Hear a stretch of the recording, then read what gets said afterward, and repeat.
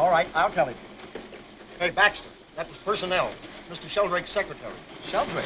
She's been trying to reach you for the last 20 minutes. They want you upstairs. Hey, what gives, Baxter?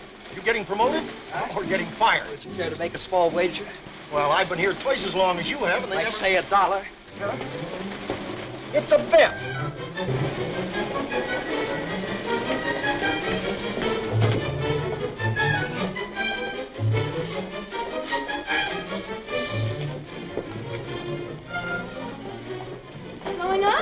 Excuse me. Hi, 27, please. Drive carefully. You're carrying precious cargo. I mean, manpower-wise. 27. You may not realize it, Miss Kubelik, but I am in the top 10, efficiency-wise, and this may be the day, promotion-wise. You're beginning to sound like Mr. Kirkeby already. well, why not, now that they're kicking me upstairs? Couldn't happen to a nicer guy.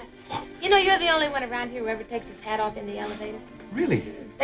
Characters you meet. Something happens to men in elevators. Must be the change of altitude. The blood rushes to their head or something. Boy, I could tell you stories that I'd would... love to hear them.